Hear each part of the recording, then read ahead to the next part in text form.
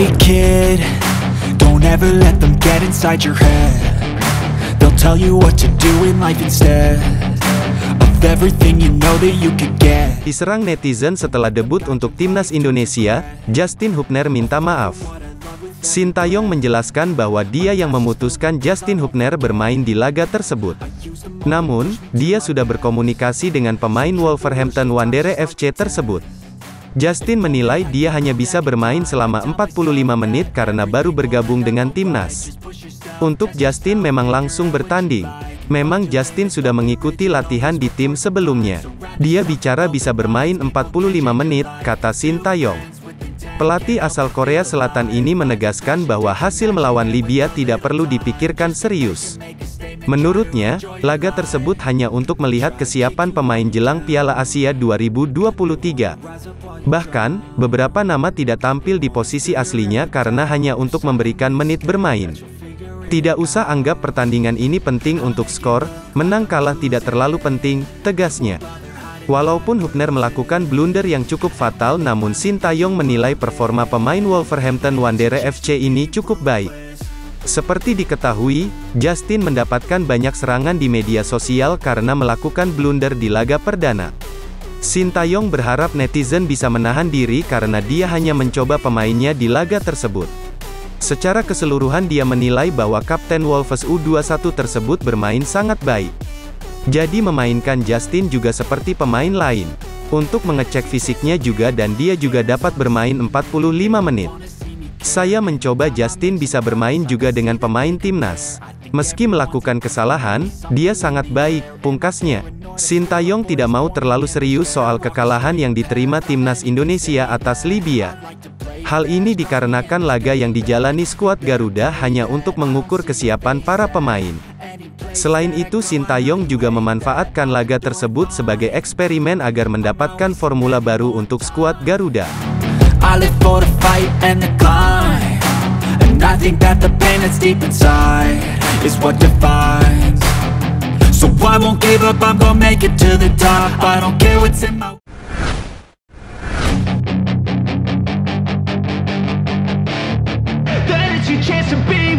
Hey kid, don't ever let them get inside your head. They'll tell you what to do in life instead. Bek Timnas Indonesia Justin Hubner berbicara soal penampilannya pada laga Timnas Indonesia melawan Libya. Timnas Indonesia kalah dari Libya dengan skor 0-4 di Titanic Mardan Stadium, Selasa, tanggal 2 Januari tahun 2024. Gol Libya dicetak oleh Ahmed Ekrawa, Omar Al-Hoja, Nour Aldin Al-Kulaib, dan Ala Al-Kajdar. Setelah pertandingan Justin Hubner mengakui laga pertamanya bersama timnas Indonesia sulit. Pemain naturalisasi itu memang baru bergabung dengan timnas Indonesia setelah beberapa waktu lalu resmi menjadi warga negara Indonesia. Ia juga baru bergabung ke pemusatan latihan timnas Indonesia di Turki. Pemain tim U21 Wolverhampton itu tiba di Turki pada Senin, tanggal 1 Januari tahun 2024. Itu adalah pertandingan pertamaku, ini sangat sulit karena sistemnya baru bagi saya, formasi baru jadi permainannya sulit untuk dimainkan, kata Justin Hubner. Justin Hubner pun menilai timnya harus lebih solid lagi dalam menyerang dan bertahan. Kami perlu berkembang, semua orang bertahan, semua orang menyerang, kami harus lebih kompak, ujarnya. Lebih lanjut, ia mengakui passingnya buruk saat melawan Libya, biasanya hal itu tidak terjadi. Ia pun bertekad untuk lebih bekerja keras. Bagi saya passing saya tidak bagus untuk game ini, biasanya bagus tapi game ini tidak bagus, kata Justin Hubner. Saya perlu berkembang, hanya berjuang lebih keras lagi, ujar pemain 20 tahun itu. Umpan Justin Hubner yang terlihat fatal saat menit ke-89 yang menyebabkan gol ketiga Libya terjadi.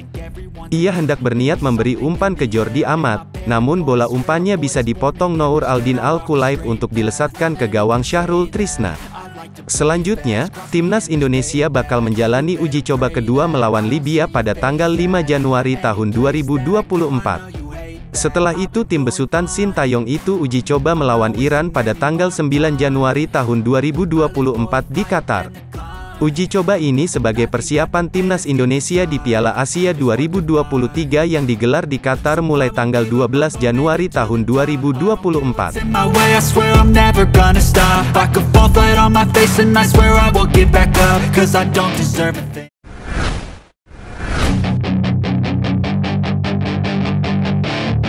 That is your chance to be rude. Hey kid, don't ever let them get inside your head. Pemain keturunan, Sain Patinama, kini terpaksa meninggalkan pemusatan latihan timnas Indonesia di Turki untuk sementara.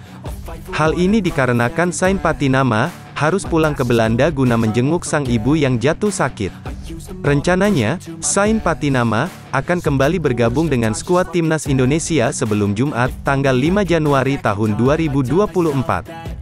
Direncanakan sebelum tanggal 5 akan kembali, ucap asisten pelatih timnas Indonesia, Nova Arianto, Selasa, tanggal 2 Januari tahun 2024.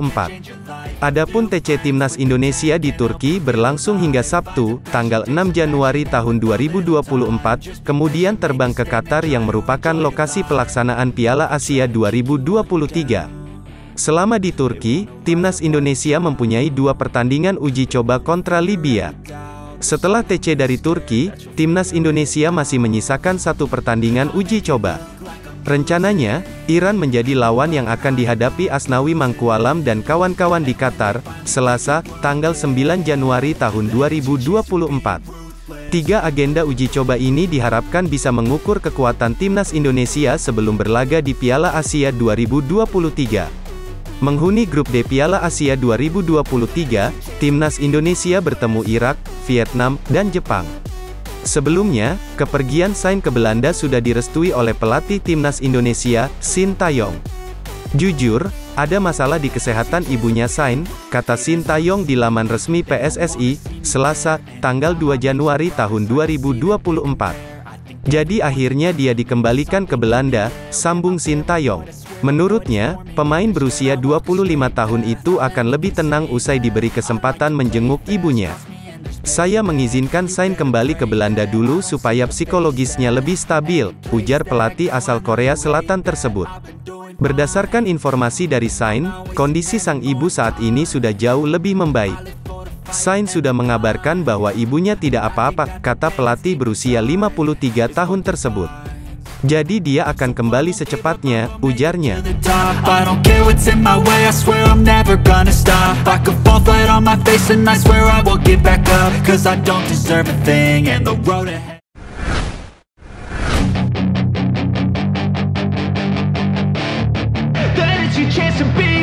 Hey kid, don't ever let them get inside your head.